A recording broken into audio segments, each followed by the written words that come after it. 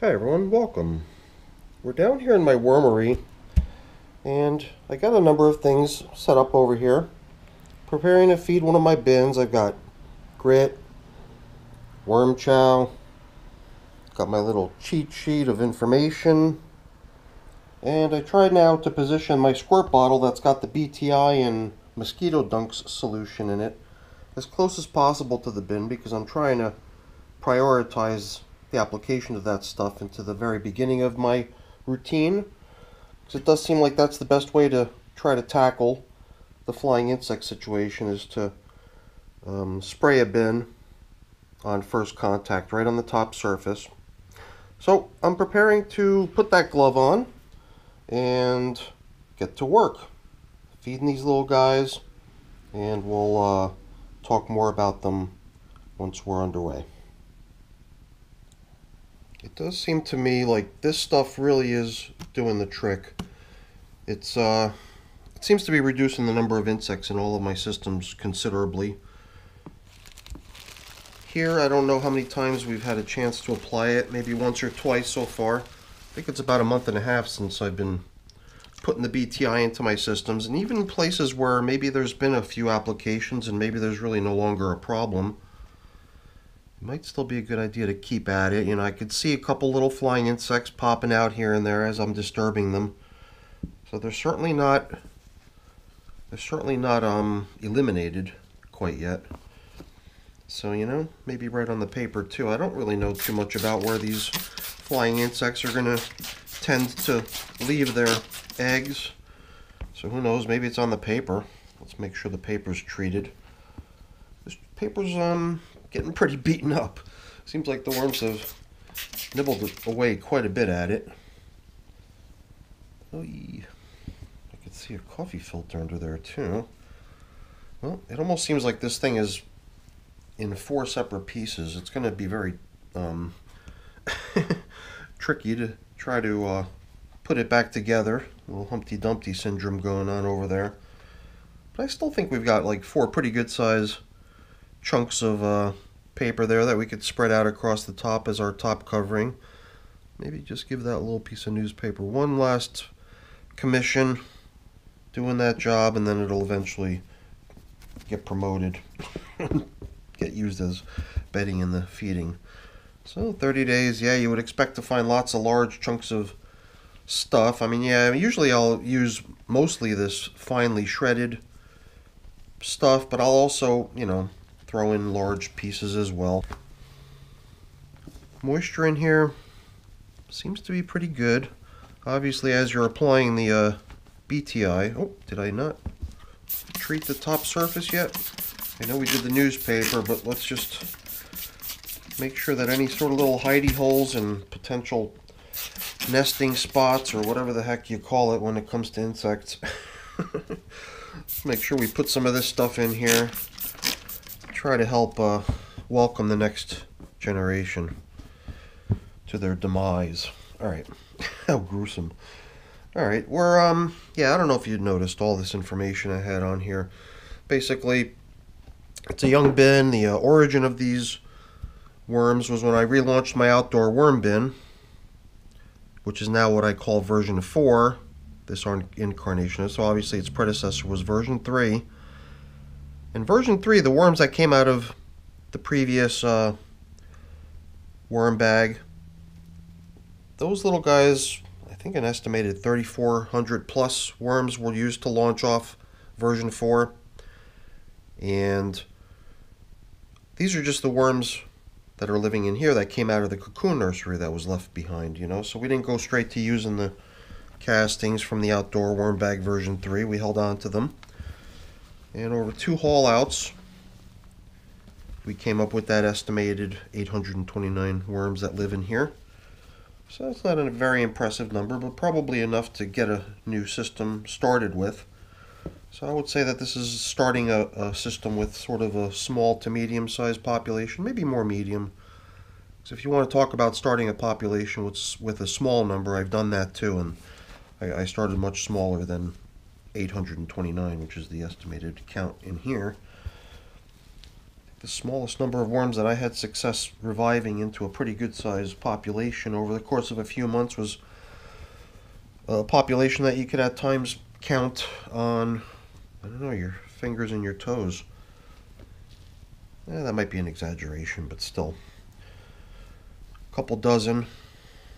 Now down here, I didn't review the video from what we fed last time. I wonder if there's leftovers enough for us to identify it. I could tell this is coffee down here. Perhaps not spread into the neighboring materials as well as it could have been.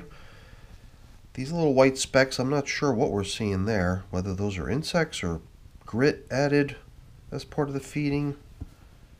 I don't know. But you can see the worms are enjoying something, whatever it is they got last time. Hopefully they'll enjoy what they get this time too, but if you noticed, there was a sort of a theme, right? There's stuff in here. It's hard to tell. It's all getting all that um, humidity is condensing onto these frozen items, so they're sort of camouflaged by the frost. But they're things that I classify as slow. Avocado, mainly because of the pit, and there's also just a pit. There's a full avocado with its own pit, plus um, only a pit. that makes sense. Should put a picture to the word. You can better understand what I'm talking about. Just the pit, a little bit of fruit on there, residual. But here's a whole within its shell. Apple, to me, I don't know. For me, it's a slow composting thing. And it's, I don't know about peppers. You know, I thought peppers actually go pretty quick in a worm bin. So I think the only reason it's there is because I don't classify it as a slow thing. It's more of a thing that I typically, for whatever reason, don't tend to include in my worm bins. I don't know why. Very nice. Look at all these little guys in here. They're all spread out. Some of them are kind of surrounding something that they seem to have zeroed in on. One of my more recent feedings from a day or two ago, I don't know when it was, but it's when you're feeding your night crawlers. Somehow, not so much about the Euros. The Euros are a little bit more behavior-wise and appearance-wise. They're kind of more similar to red wigglers, but those African night crawlers, they're kind of solitary creatures. So they don't do this sort of mobbing together and putting on a show for us. That's why, as far as if you're going to get into worm farming and you want to do it for the entertainment factor, go with the type of worms that um, produce these little mobs, you know, that you can try to seek out after you know you've given them a yummy feeding. If you come back in time before there's still some left for them to be jumping on, they'll probably be doing so in large numbers, little crowds of them zeroing in on the good stuff. Alright, we didn't really get a, a, chance to observe how things are working on the outer edges. We just sort of went straight after the center where the feeding had been applied. So let's just sort of follow through with what we started here by getting this feeding in here. A couple of really large chunks of frozen stuff.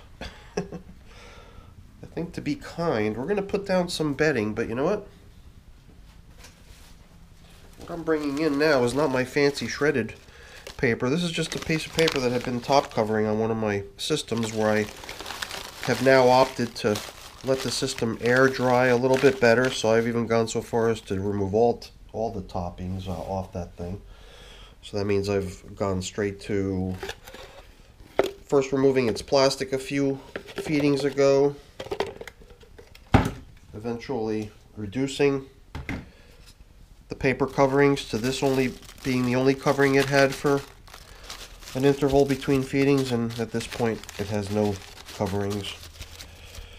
So this paper, hopefully they'll enjoy this fairly tattered, fairly weathered worm bin paper. This ain't just something I pulled in off the front porch. This is not a, a freshly delivered newspaper by any means. This has been sitting in worm bins for a while.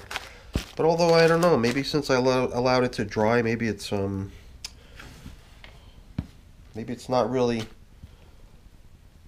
as lively as it could be as far as bringing in microbes and stuff. So this must have been, yeah, this coffee filter will shred it a little bit. Not that we have to.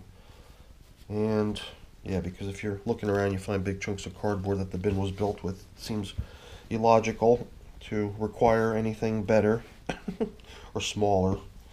I know better is sort of a relative thing, right? Alright, I don't know.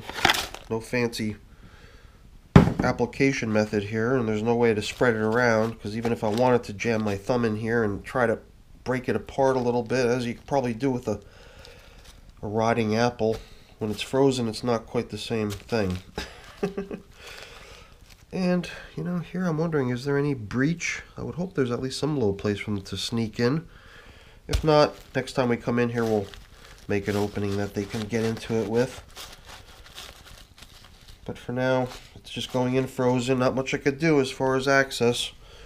Now I've also got my worm chow. You saw that I was kind of showing off there. My newest recipe includes nuts. Now actually that my pre my last recipe already had nuts, cashews to be specific. So this new version has those cashews in it, but now the new thing added this time was beans. so I'm playing around with different things I'm finding in my cupboard, stuff that I think can go into the blender and get pulverized into a material that's kind of small and granular and easy to pour. Although I do need to mix certain things like the nuts with drier materials because otherwise it would just end up like a you know like a peanut buttery pasty uh, goo. So I do feel a little bit tempted to bring in some extra bedding and it's rem it's reminding me of the fact that sometimes now that I got this cool shredder I sort of neglect the fact that I've also got a full box of leaves up on the shelf I think the leaves deserve a little bit more airtime. Because the uh, shredded paper and cardboard mixture has been stealing the show. So you know what? Let's queue up the supply of leaves because as you can see it's full to the top of the box and it's been that way just sitting there for a couple weeks. So it's like that poor kid on the bench never gets to play play the game until you finally realize, hey, what about that dude? He's been sitting there on the bench waiting to play all day. Well, let's give that little guy a chance, right? Get the leaves back into action. The leaves used to be my de facto bedding. It was just what I provided the worms all the time because sometimes I would take paper and shred it for them using a really lousy shredder that I had. And then I, uh, and then I upgraded, got myself this really nice shredder. Now I got tons of paper that I can, I've been collecting paper and cardboard so that I can make nice bedding for these little guys out of it. But I've also got these nice leaves that I put away every autumn. Leaf bag sitting outside full of the stuff, just waiting to get used. And all I think I need to do is sort of remind myself that it's there and that it's uh, ready for use. And I should be generous with it because I somehow also feel that by varying the bedding types that we use, it just somehow improves the structure of the finished castings. I think other people will comment similarly. I've, I think I've seen observations like that in other people's videos of people that, you know, may have recently switched to composting with almost exclusively shredded paper and maybe from a previous supply of bedding materials had experience on what the castings were like prior and noticed that the castings do somehow differ when they're um, paper. You know, if you think about it, paper. What's paper? Paper is wood pulp, so you're you're already giving the worm something extremely fine to start with. Doesn't have to work very hard to break it down. Kind of makes their digestive system lazy. don't don't quote me on that. I'm not a biologist. I don't know anything about making people's digestive systems lazy or active. So we promised this piece of paper that we'd try to return it to its post so it can continue in valor with its current duties that it's done so fabulously until now. So I think we can honor its wishes to let it stand guard one more time out here on the surface. But you know what, buddy? I think you know what's next, and you deserve it. This little guy's going to get upgraded next time. I think it's going to go in there right where the other newspaper went. it's going to go in as bedding. So, this is just me delaying just to try to see if I can look around to see if I forgot anything vital before I cover things up. But I think we've covered all the bases. At least I hope so. that's the beauty of raising worms. If you miss something or do something out of order, they're so flexible. They're so capable of taking care of themselves that it almost doesn't matter. All right, everyone, that's it for today's check-in with our 30-day red wiggler system. And they're doing great. I think they're doing a wonderful job in here. And, you know, with a feeding like that, we could probably come in pretty soon and give them more because it's going to take time for that apple to eventually get even started. That avocado, who knows, might not even be breached by the time we come in here. So that feeding is almost as if it's a, non-feeding. Only going to be in the bin getting started. Next time we check in here, this stuff's going to look like it was put in there brand new. At least that's my best guess. We'll see next time we come in. All right, everyone. Have a great day. Thanks so much for watching. If you enjoyed the video, and I hope you did, please don't forget to leave me a quick thumbs up before you go. And if you haven't done so already, please also consider subscribing to the channel. Oh, there's also that join button if you want to maybe provide a little bit of financial support. That's also very much appreciated. All right, everyone. Have a great day. Thanks so much for watching. Bye now.